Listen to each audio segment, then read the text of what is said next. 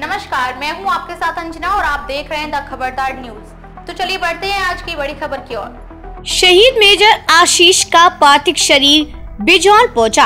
अंतिम संस्कार आज। रास्ते भर माँ ने हाथ जोड़े। बहन ने सलामी दी।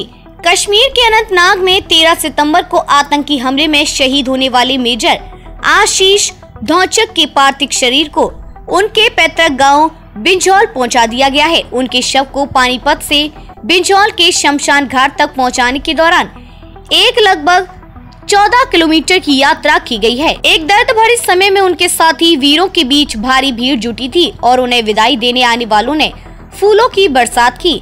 शहीद की अंतिम यात्रा के दौरान उनकी माँ और बहनें भी उनके साथ थीं। माँ ने पूरे रास्ते हाथ जोड़े रखे, जबकि बहनें अपने भाई को सलाम करती रही और मात्र यही कहती रही कि मेरा भाई हमारा और देश का गर्व है। उनका पार्थिव शरीर पहुँचने के बाद उन्हें उनके नए मकान में ले जाया गया, जिसे वे अपने जीवन के अंतिम दो साल में बनवा रहे थे।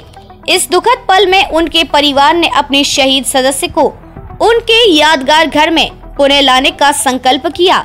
मेजर आशीष ने भारतीय सेना में अपनी ज़िंदगी की आवश्यक चरणों से महत्वपूर्ण भूमिका निभाई थी। उन्हें 29 राष्ट्रीय राइफल्स की सीख लाइट इन्फेंट्री में तैनात किया गया था और उन्हें 15 अगस्त को राष्ट्रपति द्रौपदी मुर्मू द्वारा सेना मेडल से सम्मानित किया गया था।